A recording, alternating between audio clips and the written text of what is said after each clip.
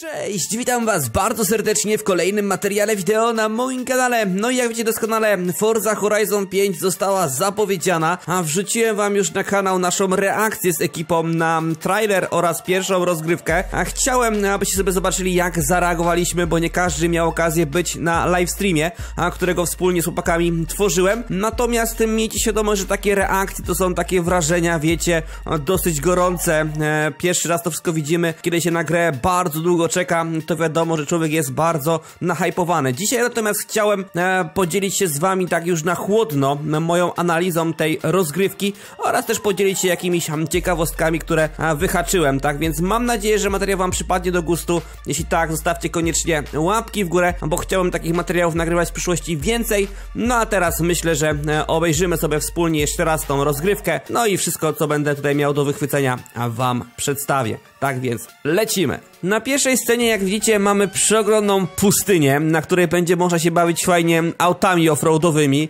E, taki klimacik ostatnio był w Fordzie Horizon 3, kiedy graliśmy sobie w Australii. Widoczne też jest latarnia morska gdzieś tam w tle. I powiem wam, że o Fordzie Horizon 5, a raczej o lokalizacji Forzy Horizon 5 mówiło się od dłuższego czasu i sugerowano ten Meksyk coraz e, bardziej. Między innymi ze sprawą e, nowych Hot które mają się pojawić za jakiś czas w sprzedaży, gdzie właśnie były samochody, a na ich tle pustynia. Bardzo możliwe, że to właśnie ta sama pustynia, którą aktualnie widzimy, tak więc jak widzicie czasami plotkom można uwierzyć. No i takim pierwszym zaskoczeniem był oczywiście Mercedes AMG Project One. Jest to niesamowity samochód, który posiada jednostkę napędową z bolidu Formuły 1, bodajże z 2015 roku, w którym to Mercedes Formule 1 wygrywał Mistrzostwo Świata. Jest tutaj ponad 1000 koni, wyciągnięte z silnika 1.6. E, oczywiście jest on wspomagany też silnikiem elektrycznym, ale mamy ponad 1000 koni, jakieś 6 sekund do 200 km na godzinę e, i maksymalnie możemy nim jeździć około 350 km na godzinę. Tak więc jest to naprawdę auto wyjątkowe. No już nie mogę się doczekać, jak pewnie w pierwszych już e, etapach będziemy mogli sobie nim e, pośmigać. Niesamowicie wygląda e, ten motyw, kiedy wszystko się w tym aucie rozsuwa, auto się podnosi. Jestem właśnie ciekaw, czy będzie taki podobny motyw w Fordzie, jak chociażby w Need for Speedach, że auto można zgasić po prostu i chwil kiedy się odpala, całe pneumatyczne zawieszenie po prostu idzie ku górze. Fajnie by było i właśnie ten motyw tutaj, który widzieliśmy, sugeruje nam, że tak właśnie może być.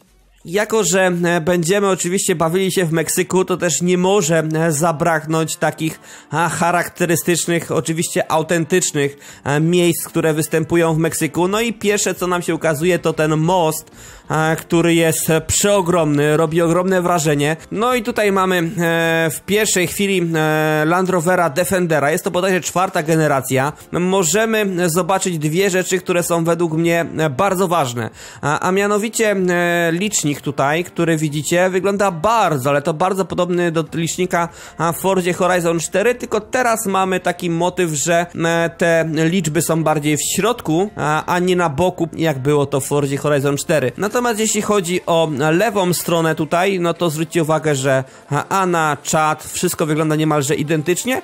No i też możemy tutaj zwrócić uwagę, że mamy ukazany ten most właśnie w takiej formie gdzie jest linia przerywana, biało-czarna.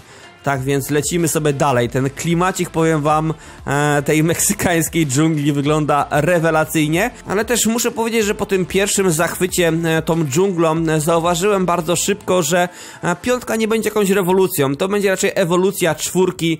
Tutaj rozgrywka bardzo podobnie wygląda, niemalże identycznie jak właśnie w czwórce, więc oprócz klimatu, nowej mapki, dużo motywów na pewno będzie bardzo podobnych jak w czwórce, więc wiele osób może na to a raczej na pewno będzie wiele osób na to narzekać. Tutaj jest e, ciekawy motyw, który zasugerował mi e, Darek, a mianowicie zwróćcie uwagę, że jedziemy po drodze offroadowej, e, a nie jest ona w ogóle widoczna na mapce. Zwróćcie uwagę na lewy dolny róg. Tutaj mamy zaznaczoną drogę, mamy też gdzieś tam powiedzmy na środku po lewej stronie zaznaczoną odnogę takiej drogi offroadowej, Taki sam motyw był w sumie na mapce w innych Forzach, natomiast tutaj, gdzie dokładnie jedziemy, nie ma tego. Jestem ciekaw, czy jest to taka naprawdę bardzo e, dzika droga, e, której nawet na mapie nie ma i takie drogi po prostu będą do odkrywania, e, czy po prostu e, tutaj twórcy jeszcze nie zdążyli tego wszystkiego zrobić e, i e, takie szczególiki będą dopracowane dopiero na premierę. Ciekawe, ciekawe.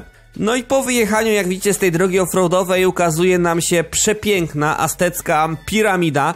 Wiadomo, że Forza Horizon 5 nie oddaje prawdziwej jakby mapy, tak, Meksyku. To jest jakaś, powiedzmy, autorska mapa z elementami właśnie z prawdziwego życia i tutaj właśnie jeden z tych elementów jest widoczny.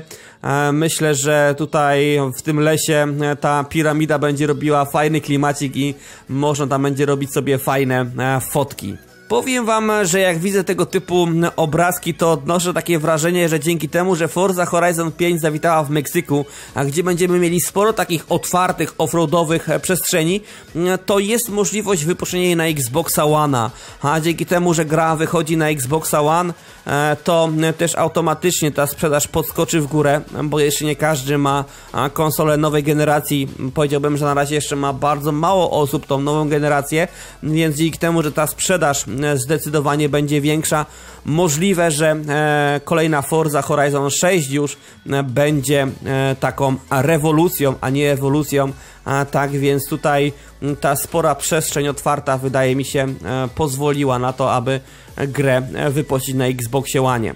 No i wjeżdża Mercedes, o którym wam wcześniej wspominałem. Nie wiem jak wy, ale powiem wam, ja jakoś nie mogę przywyknąć do tego widoku hypercarów na drogach offroadowych. Nawet bałem się, że tych dróg będzie dużo i gdzie te drogi takie normalne, publiczne. No ale jak widzicie tutaj droga nam się pojawia. Co ciekawe, jak możecie zauważyć, mamy tutaj ruch prawostronny, więc wielu maruderów w końcu tego ruchu prawostronnego się doczekało. Jak możecie zauważyć, mamy tutaj Forda Fiestę w formie trafika. E, czyli takie małe kopiuj wklej tych motywów zauważyłem sporo e, w tych zapowiedziach, natomiast tutaj mówię, ten Ford Fiesta jest jednym z nich. Mamy oczywiście Koenigsegga, który pojawił się niedawno w wyzwaniach w Fordzie Horizon, przed nim bodajże idzie Rimac i Corvetta C8, która też się pojawiła właśnie w ramach e, tych comiesięcznych update'ów do gierki, czyli tylko tutaj akurat Mercedes jest nowością w tym przypadku. Z daleka już widzę, że pojawia się kolejny e, trafik, który występował niemalże w identycznej wersji Forza Horizon 4. Jest to auto dostawcze, więc tutaj też mamy kopiuj wklej. E, są też te charakterystyczne balony festiwalowe, więc tutaj też będzie festiwal oczywiście rozgrywany, chociaż mało o nim wcześniej nam powiedziano. No i tutaj zwróćcie uwagę, że Mercedes przejeżdża obok e, prawdopodobnie kolejnego trafika. Tym razem jest to trafik zupełnie nowy. Nie kojarzę, żeby takie trafiki były wcześniej w Fordzie Horizon. Tym bardziej, że jest to jeden z nowszych e, pick-upów, ale właśnie fajnie, że taki pick-up też a, po drogach będzie jeździł. Bardzo mi się kojarzy Meksyk właśnie z takimi pick-upami, więc zamiast Forda, powiedzmy Fiesty, chciałbym takich aut zobaczyć znacznie, znacznie więcej. Tak sobie tutaj obserwuję, jakie auta pojawiają się nam w tle i muszę przyznać, że sporo jest aut, które nie występowały w podstawowej wersji Forzy, ale zostawały dodawane właśnie w tych cotygodniowych wyzwaniach. Duża część osób nawet może nie kojarzyć tych samochodów, bo pewnie nie wszystkie zdobywacie na bieżąco, natomiast ja gram non-stop Force, tak więc pod tym względem mówię, tutaj widzę, że dużo aut, jak na przykład ten samochód, to są auta, które pojawiły się dopiero w tych wyzwaniach cotygodniowych. Powiem wam, że jak zobaczyłem pierwszy raz właśnie ten tropikalny, niesamowity klimat, rozwaliło mi to mózg dosłownie. E, do tej pory jaram się tym klimacikiem. No i mamy tutaj oczywiście, jak widzicie, Lamborghini Huracana, że w tej starszej wersji, nie jest to wersja Evo, która ma e, tutaj wydechy nad tablicą rejestracyjną. A właśnie, a propos tablic rejestracyjnych, zwróćcie uwagę, że tutaj mamy nową tablicę rejestracyjną, białą.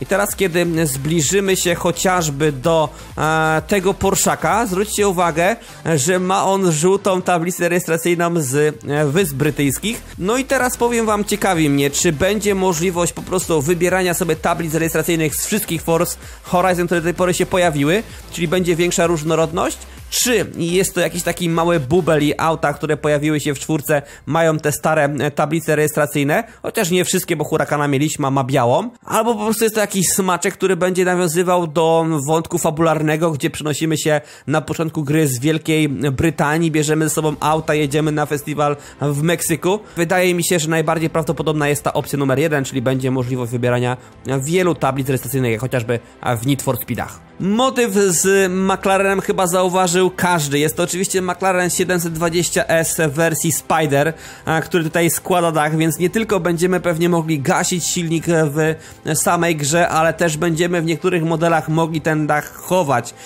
Co ciekawe, w przypadku tego McLarena złożenie takiego dachu trwa 11 sekund. Jestem ciekaw, czy twórcy doprecyzowali takie szczególiki i faktycznie tyle to będzie zajmowało. E, I co ciekawe, e, dach w tym aucie można składać maksymalnie e, w ruchu do 50 km na godzinę. Też jestem ciekaw, czy ten smaczek zostanie e, zachowany, że na przykład kiedy dach się chowa, to auto będzie miało jakiś ogranicznik prędkości. Zobaczymy. Kolejna rzecz, która rozwaliła mi mózg, kiedy pierwszy raz to widziałem, to właśnie to błyskawiczne przejście z auta do trybu fotograficznego, czy też trybu drona. Jest to naprawdę błyskawiczne i zakładam, że jest to związane z bardzo szybkimi dyskami w e, nowych Xboxach. Natomiast automatycznie e, zastanawia mnie, czy ten motyw e, zostanie też wykorzystany w przypadku komputerów, które nie mają szybkich dysków SSD, czy chociażby konsol poprzedniej generacji. Być może taka opcja właśnie w tym przypadku nie będzie dostępna. No i tutaj jak widzicie potwierdzają się moje wcześniejsze słowa, że znowu pojawia się samochód, którego nie było w podstawowej wersji gry, natomiast pojawił się on w tych wyzwaniach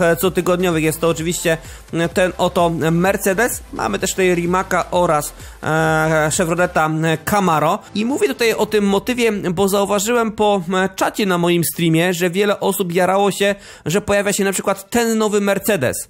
Zakładam, że grali po prostu oni tylko w podstawową wersję Forza Horizon 4, nie rozgrywają tych cotygodniowych wyzwań, e, albo przegapili po prostu jakieś wyzwania cotygodniowe i nie mają właśnie do dyspozycji e, tych samochodów, czy świadomości w ogóle, że te samochody w grze się pojawiły, tak? Więc dlatego właśnie o tym wspominam, że mm, tutaj też dla wielu osób które nie robią tych wyzwań tygodniowych, te auta mogą być nowością. No i kolejny smaczek, który tutaj możecie e, zauważyć, to informacja o tym, że teraz w eliminatorze mamy aż do 96 graczy. Wcześniej było to około 70, tak więc jak widzicie, e, ta liczba tutaj nam nieco wzrasta, a dokładnie o 24 osoby, o ile się nie mylę, e, będzie tych graczy więcej. Tak więc jest to też fajna ciekawostka.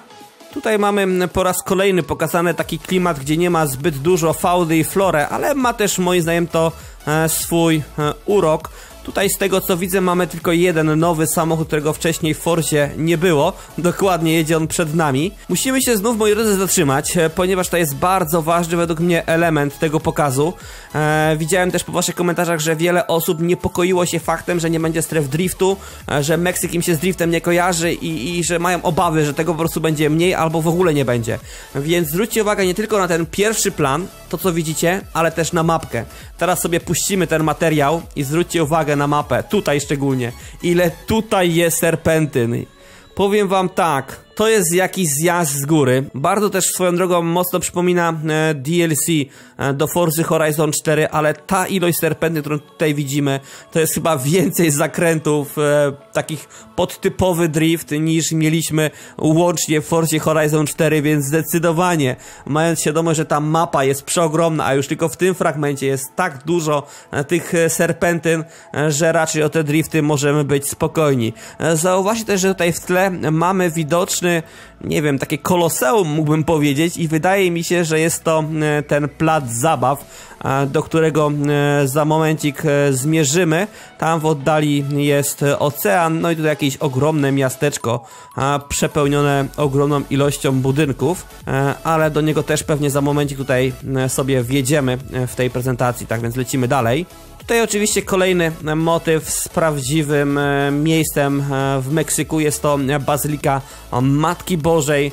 E, przy której tutaj zaraz Lancer Evo powinien nam driftować. I ten Lancer Evo też jest fajną ciekawostką, ponieważ no niby ten samochód już był w Fordzie, ale zwróćcie uwagę, że ma e, dodatkowo bodykit założony e, i właśnie tych bodykitów do aut ma się pojawić znacznie więcej niż, czy w ogóle sam tuning będzie bardziej rozwinięty niż w poprzedniej odsłonie. No i po raz kolejny mamy krajobraz, tym razem sporo zieleni, ale to wszystko jest tak wypalone tym meksykańskim słońcem, e, że wydaje się takie wyblakłe. E, co ciekawe, po tych górkach prawdopodobnie będziemy sobie mogli jeździć, bo za moment zobaczycie, jak sobie puścimy dalszą część filmu, że wyjeżdża stamtąd jeden samochód, tak więc tutaj e, to zdecydowanie jest ciekawe, chociaż mam nadzieję, że doprecyzują twórcy ten motyw, kiedy się auta potrafią na takich właśnie pagórkach zawiesić, bo to strasznie denerwowało w czwórce. No i znów, moi drodzy, jak widzicie, mamy samochód z napędem na 6 kół, który nie tak dawno pojawił się w wyzwaniach, no ale nie było go w podstawce, tak więc tutaj e, też wiele osób może go pomylić po prostu z nowym autem, którego wcześniej w podstawowej wersji gry nie było. No i tutaj właśnie też ten samochód nam e, z tej bocznej e, lewej dróżki wyjechał. Tutaj też kolejny, jak widzicie, tak więc będzie można tam sobie jeździć. Powiem wam, że jak widziałem pierwszy raz ten motyw tej drogi, to bardzo przypomniał mi się początek z Forza Horizon 1. Nagrywałem nagrywałem wam ją na swoim kanale e, i doskonale ten motyw kojarzę. Mamy tutaj oczywiście Koenigsegga e, Jesko, mamy McLarena Senne, no i tego nowego Mercedesa e, w takim powiedzmy potrójnym konwoju.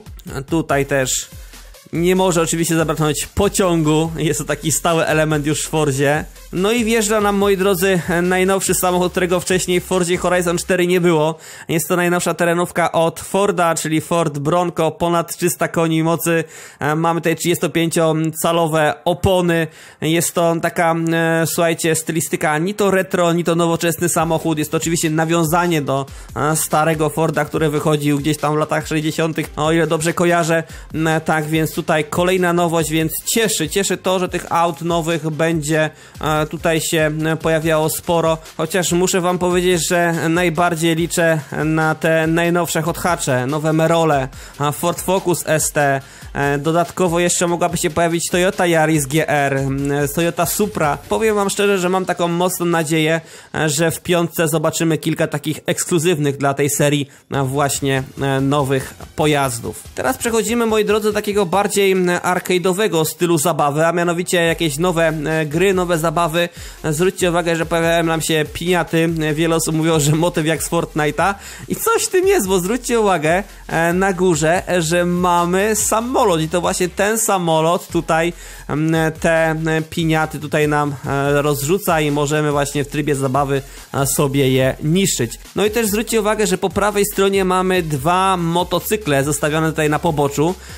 Były już motocykle w formie ozdób w poprzednich Forzach i zakładam, że tak samo i tutaj są to ozdoby, ale teren, ten meksykański teren, powiem wam, daje naprawdę potencjał do tego, aby motocykle też pojawiły się. Pewnie nie w podstawce, ale możliwe, że w, chociażby w formie jakiegoś rozszerzenia. Coś takiego według mnie jest jak najbardziej możliwe i w tym terenie spisałyby się te motocykle, szczególnie jakieś właśnie crossy e, czy enduro rewelacyjnie. Darek to wychwycił, ale jest to na dobrą sprawę arena, w której prawdopodobnie będziemy sobie właśnie mogli budować własne place zabaw, co pojawiło się już w czwórce w formie takiego update'u. Natomiast tam marudziliśmy bardzo mocno, że co z tego, że możemy budować place zabaw, jak można tego jeździć samemu. Tutaj e, już właśnie będzie możliwość pobawienia się z innymi graczami, a tak więc nie jest to jakaś nowość, tylko w końcu e, zrobili ten tryb nowy, do, który był w Forzie Horizon 4 e, z możliwością grania z innymi, co dopiero daje mu wtedy potencjał na,